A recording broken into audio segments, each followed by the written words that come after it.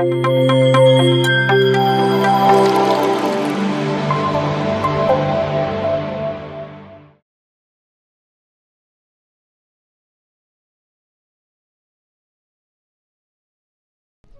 ಕನ್ನಡ ವಾಹಿನಿಯ ಎಲ್ಲ ವೀಕ್ಷಕರಿಗೂ ನಮಸ್ಕಾರಗಳು.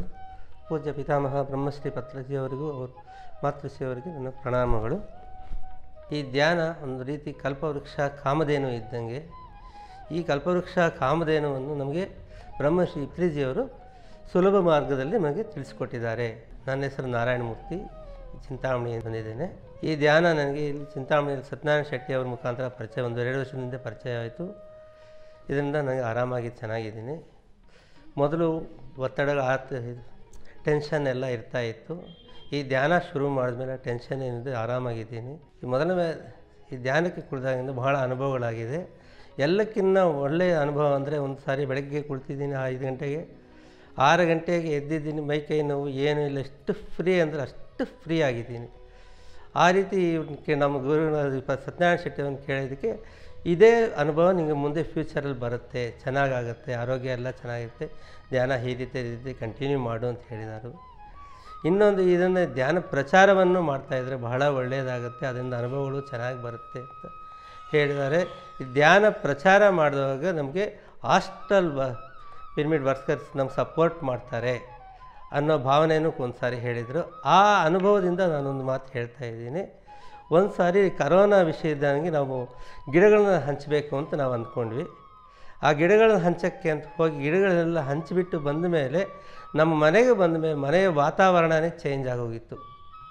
ಫುಲ್ ಮನೆಯ ವಾತಾವರಣದಲ್ಲಿ ಶ್ರೀಗಂಧ ಸ್ಮೆಲ್ ಬರ್ತಾಯಿತ್ತು ಇದು ಏಕೆ ಅಂತ ಕೇಳೋದಕ್ಕೆ ನೀವು ಧ್ಯಾನ ಪ್ರಚಾರ ಮಾಡೋಕ್ಕೆ ಅಂತ ಹೋದರೆ ನಿಮಗೋಸ್ಕರ ಹಾಸ್ಟೆಲ್ ವರ್ಕರ್ಸ್ ಸಪೋರ್ಟ್ ಮಾಡ್ತಾರೆ. ಅವ್ರು ನಿಮ್ಮನ್ನು ಕಾಪಾಡ್ತಾರೆ ನಿಮ್ಮನ್ನು ಸದಾ ನಿಮ್ಮನ್ನು ಅಬ್ಸರ್ವೇಷನ್ನಲ್ಲಿ ಇರ್ತಾರೆ ಅಂತ ಹೇಳಿದ್ದಾರೆ. ಆ ಒಂದು ಅನುಭವದಿಂದ ನಾನು ಹೇಳ್ತಾ ಇರೋದನ್ನು ಧ್ಯಾನ ಎಲ್ಲರೂ ಮಾಡಬೇಕು. ಎಲ್ಲರಿಗೂ ಸೌಕರ್ಯ ಆಗುತ್ತೆ. ಆ ಧ್ಯಾನ ನಮ್ಮನ್ನು ಬ, ನಮ್ಮ ನಡತೆ, ಬದಲಾವಣೆ ಎಲ್ಲವನ್ನು ಬದಲಾವಣೆ ಮಾಡುತ್ತೆ. ಸುಮಾರು ಎರಡು ವರ್ಷದಿಂದ ನಾನು ಧ್ಯಾನ ಮಾಡ್ತಾಯಿದ್ದೀನಿ ಆರಾಮಾಗಿದ್ದೀನಿ. ಮೊದಲೇ ನಾನು ಸತ್ಯನಾರಾಯಣ ಶೆಟ್ಟಿ ಅವ್ರ ಜೊತೆಯಲ್ಲಿ ನಾವು ಪಿರಿಮಿಡ್ಗೆ ಹೋಗಿದ್ವಿ ಗುರುಗಳು ಬಂದಿದ್ದರು. ನಮ್ಮನ್ನೆಲ್ಲ ಸಂತೋಷದಿಂದ ಮಾತಾಡಿ ಸ್ವಲ್ಪ ಹೊತ್ತು ನಮ್ಗೆ ಮೆಡಿಟೇಷನ್ನು ಮಾಡಿಸಿ ಶೇಕ್ ಹ್ಯಾಂಡ್ ಕೊಟ್ಟು ಹೋದರು.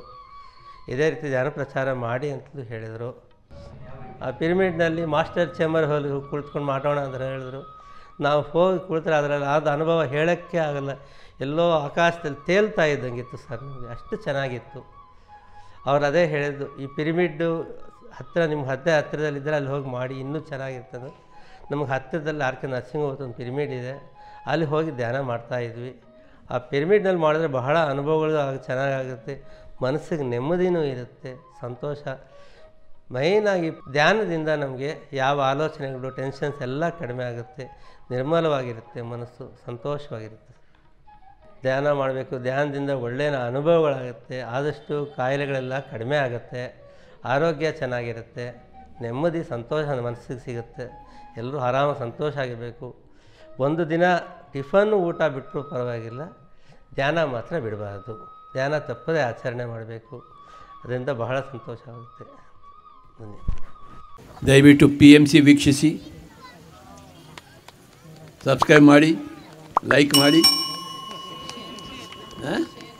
ಶೇರ್ ಮಾಡಿ. and give your experiences for PMC. Record your experiences so that the whole world will know your experiences.